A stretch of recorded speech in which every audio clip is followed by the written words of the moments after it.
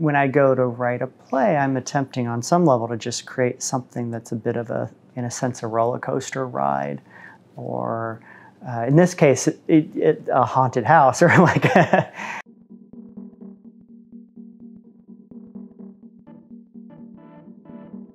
so I wrote The Thin Place because I've always wanted to write a play that recreates in some way the feeling I would have as a kid.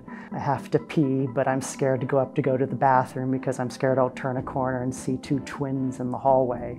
And attempting to write a horror play, you have to ask yourself, well, what do you find scary? And what I find scary is the notion that somebody would put a thought in your head that you can't get out of your head, or that your mind can in some way be controlled, or that your thoughts are not actually your own thoughts. It's the story of two women, Hilda and Linda, their relationship uh, from its beginning to its end, and what these two women have in common is they both seem to have some sort of ability to make contact with the spirit world.